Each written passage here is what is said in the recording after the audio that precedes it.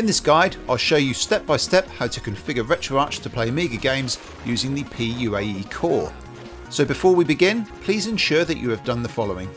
Install RetroArch, have at least one Amiga game ADF file ready, obtain some Amiga Kickstart ROM files this is optional as PUAE has a built-in Kickstart ROM, but to ensure maximum compatibility, I recommend using actual Kickstart ROM files. These can be legally purchased as part of the Amiga Forever by Cloanto package. A useful tip is to purchase the Amiga Forever Essentials Android app. This app also contains the Amiga Kickstart files you'll need and is very cheap to buy. And finally, ensure your controller is connected to your system. I prefer playing Amiga games with a joystick rather than a gamepad, the Competition Pro USB in my view is the best modern USB based joystick for playing Amiga games via emulation. I'll leave links in the description for you to check out. So the first step is to download the PUAE 2021 core in RetroArch. So first boot up RetroArch and select load core and then download a core. Then scroll down the core downloader list until you reach Commodore Amiga PUAE 2021. If your version of RetroArch is not showing the 2021 core, then just download the regular PUAE core. Select this and the core will begin to download and install. If you're using an existing installation of RetroArch, it's also advisable to return to the main menu, navigate downwards to Online Updater, and then select Update Core Info Files and Update Databases. Running these updates ensures everything is up to date and minimises the likelihood of any issues. If you're going to use Amiga Kickstart ROM files instead of the built-in Kickstart, these will need to be copied to the RetroArch system folder. You'll only need to copy those that you plan to use, but if you are able to obtain all of the Kickstart files, feel free to copy them all across. The system folder can be found in your RetroArch installation directory.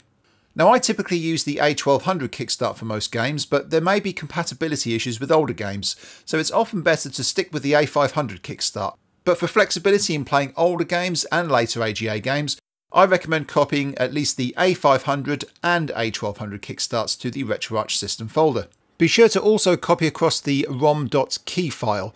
This is normally included as part of the Amiga Kickstart ROM bundle. It is worth noting that PUAE in RetroArch requires BIOS files to be named correctly. The list on screen now is taken from the PUAE libretro site and provides details as to what the file names should be for the Amiga Kickstart files. As mentioned before, PUAE possesses a moderately compatible built-in kickstart, functioning as a fallback when the appropriate kickstart remains undiscovered. Both Amiga Forever and TOSEC file names are recognised and accepted by PUAE as shown here. So as long as your file names are all correctly as per this table, you should have no problems. Now moving on to playing games. An ADF file is an Amiga disk file. These are basically single file dumps of actual Amiga disks, and these are essentially what you would have just put into the disk drive of your old Amiga.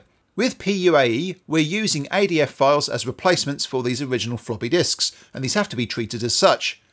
So to play a single disc game, such as Stunt Car Racer, simply select Load Content from the main menu in RetroArch and navigate to where your game ADF file is stored and select it. It will then boot your game. But because Amiga games often came on more than one single disc, it is necessary to have to swap discs during the game. This is possible in RetroArch in a couple of ways. The first is using the disk control feature in RetroArch to swap disks. To do this, press F1 to access the quick menu and select the following options. Disk control, eject disk, load new disk, select the disk you need to use, insert disk, and then press F1 to return to your game. PUAE will now add this disk to the disk index and use the disk you have selected. If you need to reinsert a previous disk, simply go back to the disk control menu, select current disk index, and select the appropriate disk from the list. Now to play multiple disk games using .m3u files, you need to do a little bit of configuration. If you prefer to keep things a little tidier in RetroArch, it is possible to create .m3u playlists for each game. These are essentially a text file that RetroArch can refer to to understand how many disks are associated with a game. You will find that when booting games via a .m3u file is that some will automatically swap disks in-game and some will not. But booting games via a .m3u file means that RetroArch Disk Control will at least know how many disks exist for each game, making it easier to change disks when prompted. To create a .m3u file, simply create a text file and enter the location of the Amiga disk file, one per line. Make sure to enter them in the correct chronological order, starting with disk 1. Once you've done this, be sure to save the file with a .m3u file extension. You can do this by naming your file and changing the save as type to all files, making sure your file has a .m3u extension at the end.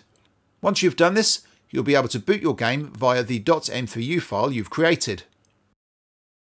As mentioned earlier, some games will automatically swap the disks for you. These are typically games that on a real Amiga are able to utilise multiple disk drives, but some games don't. If you find the game does not automatically swap disks, press F1 and select these options from the RetroArch menu. Disk Control, Eject Disk, Current Disk Index, then select the disk you need to use, insert disk, and then press F1 to return to your game. PUAE will then load the data required from the disk you've selected. The PUAE core boasts a fine array of options allowing you to fine tune your emulator for an optimal experience. To access these options, press the F1 key or your designated hotkey to pause the emulation and enter the RetroArch Quick menu. Scroll down the menu and select Core Options. Here you'll gain access to an extensive range of PUAE core emulator options encompassing video, audio and emulator performance. One feature I find particularly useful is the ability to remove the common black borders that appear with emulating the Amiga. The PUAE core allows you to reduce these to maximise the amount of screen used for games, and reducing those often ugly large borders. To do this, access the quick menu by pressing F1 and select Core Options, then Video, then go down to Crop. You can now select how aggressively the borders are removed. It's often best to just select Automatic, but you can manually adjust these settings as required. So as you can see, Amiga emulation with RetroArch is actually quite a fiddly business, but I hope this video has helped you out. For more RetroArch and emulation guides, explore the channel as well as taking a look at howtoretro.com. Thanks for watching, I'll see you soon.